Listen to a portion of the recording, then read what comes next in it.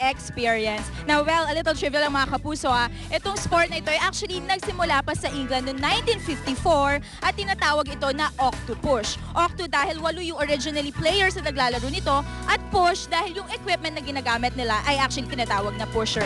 Ang sport na ito ay nagde-develop ng kakayahan ng mga swimmers na lumangoy at sumisad. Right partner? Ano? Ano ang suot mo? yan? Lang talaga akong baby. Lang ako talagang toddler. Pero ito talaga What's yung that? sinusuot nila. Okay. It's mga, well, part of the gear na uh, sinusuot ng mga underwater hockey players. Mm. This is their headgear na ginagamit sa water polo. Okay. Ginagamit rin nila. Alright. Pero for mo all gears naman, pag-usapan natin yung with uh, si Joel. Joel, Yes, Sir Joel. like the number one underwater hockey player in the Philippines. right? It's an honor. Good morning, sir. Good morning. Alright, so sir, ano po ba yung mga equipment and gears na kailangan for underwater hockey na tulad na sa aking partner?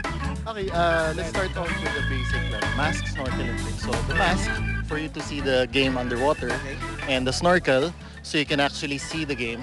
Uh, you, you can actually breathe uh, while you're seeing the game, and then the fins to propel yourself. And then Okay. you have the sticks to Ito play yung the ginaga. Ito po yung ginagamit for playing. Yes. Uh, this is the sticks. Tapos you have the headgear for Mhm. protection, okay. and then the gloves. Tapos yung ako sock, and then the uh, fin straps. Tapos ito yung puck. The puck. Okay, just- of course, kahit sa marami sa atin na hindi pa rin alam kung yung totoong hockey, ay gusto ko lang i-compare sa real hockey. Ah, sa hockey stick, that is relatively shorter than the actual hockey stick, no? Ano, Uh, maiksi siya talaga. ano yung size po niya? sir? This is about one foot. One, One foot. Okay. Maximum siya actually. Sa, It's made out of Um, nor, uh, in, in the olden days, it was made of wood. In- uh, a lot Wood. of uh, old players still prefer the wood.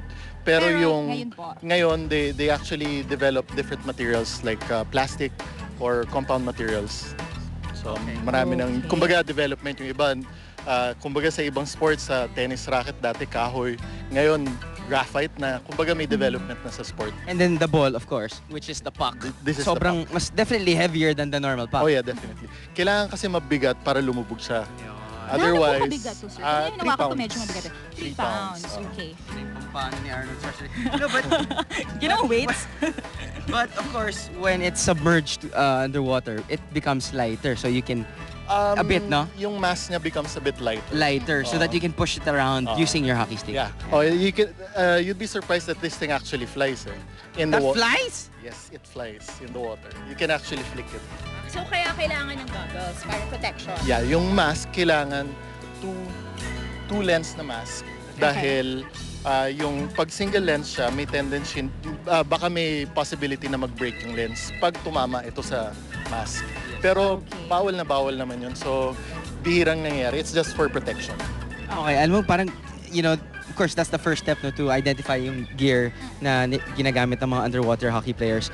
I think kanina pinapakita na yung video kung saan naglaro ako for just a few minutes tapos na hindi ko na nakayanan dahil nga, you know, I ran out of breath. Yun yun eh, parang I think, di ba, sa underwater hockey, you develop this underwater uh, Skill. Skill. No, no, no, Oo. no, parang you... Breathing. Di ba, parang, yeah, you, the You- breath the hold. breath That- hold, yeah, yeah. that's what you call So it. you develop a lot of uh, uh, ano, eh, um, anaerobic na, na resistance. So you you begin to be able to uh, hold your breath longer. Tapos as you do it for a long time, it becomes aerobic na rin. Yes. Kasi we play more than an hour sometimes in a day.